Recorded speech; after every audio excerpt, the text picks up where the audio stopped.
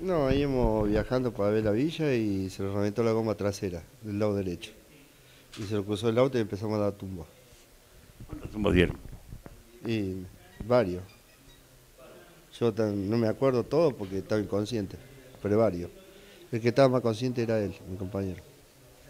¿Cuántas personas venían en el vehículo? Cuatro. ¿Quiénes eran tus compañeros? ¿Te acordás? ¿sí? Robertito Ruiz y el, el Sánchez, de apellido. Y los muchachos que tenés enfrente tuyo. Y sí, está acá, los cuatro. ¿Todos cómo salieron? No, nomás golpeados somos nosotros dos. Los otros dos no tienen nada. ¿Los trajeron directamente acá a Marco Juárez? Sí, a mí me trajeron a León y de ahí me trasladaron para Marco Juárez. Dos viajes hicieron. Me llevaron a León y después de allá me trasladaron para acá. Eh, ¿Las gomas cómo estaban? ¿Muy lisas? O... No, ni idea. no. Yo sé que se reventaron. ¿El coche de quién es? ¿Eh? ¿El coche de quién es?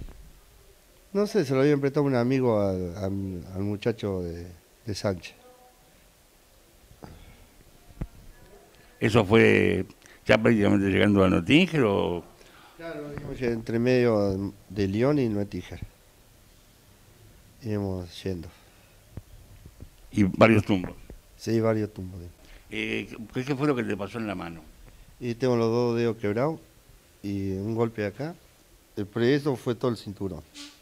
Y se te ve también un ojo negro. Sí, el ojo también me golpeé.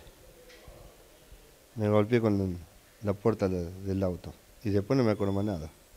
Yo fui el último que salí. Porque había agua ahí. Así que me sacaron los muchachos mismos. Porque estaba inconsciente yo.